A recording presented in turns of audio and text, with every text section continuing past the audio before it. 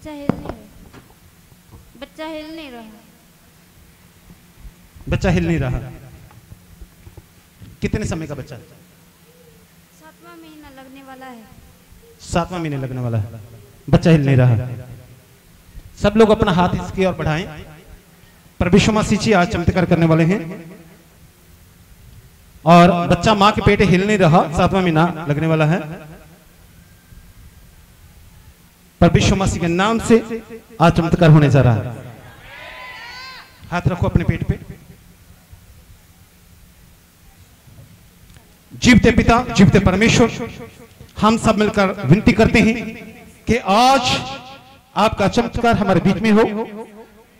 पवित्र मसीह के नाम से ये बच्चा हिलने लग जाए।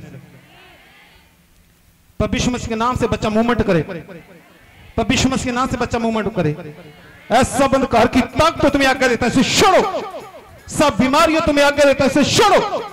सब बीमारियाँ और अंधकार की ताकतें दूर हो जाए। पवित्र मसीह से बच्चा मूवमेंट करने लग जाए। हिलने लगे। रबा हे स्वर्गीय पिता, आपने मेरी प्रार्थना सुन ली है। धन्यवाद करता हूँ। तो जो उसके पेट में बच्चा था, छह महीने का था करीबन तो हिल डुल नहीं रहा था। तो मैं जब चमत्कारी चर्च में 25 दिसंबर को फिर 25 तरीक को उस पापा की क्षमा के लिए फिर आई थी वो भी साथ आई थी तो परमेश्वर ने उसे ब्लेस किया जब पास्टर जी ने प्रे की इसके ऊपर, जो उसका बच्चा है हिलने डुलने लगा है। अब दोनों माँ बेटे, जो उसके पेट में गर्भ में बच्चा है, वो भी सही है और माँ भी सही है।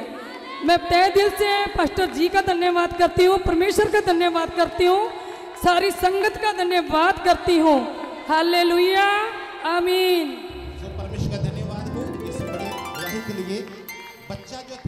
वो पेट में छह महीने का था।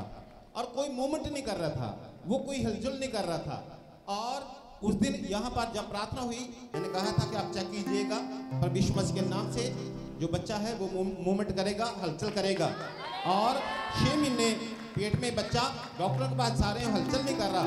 लेकिन परमेश्वर मसीह की दया से यहाँ जब प्रार्थना हुई परमेश्वर मसीह ने दया की और बच्चा जो है वो हलचल करने लगा। माँ और बच्चा बिल्कुल ठीक हैं। परमेश्वर का धन्यवाद करते हैं।